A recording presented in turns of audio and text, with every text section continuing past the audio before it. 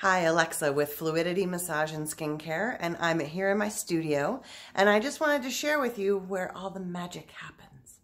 So I specialize in Thai massage, which is a clothes-on on a mat on the floor, and it involves a lot of rocking and stretching and twisting, and my whole intention is to create as much movement and fluidity and flow in your body as possible.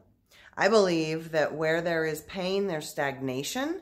And so if we can work together to move and open up those areas, then it just creates uh, more movement in your body.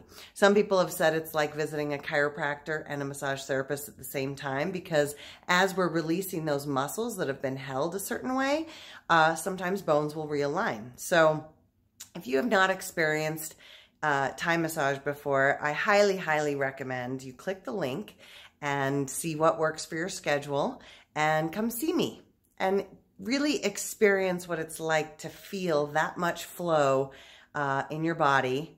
And you never know where that's going to ripple out to. So thank you.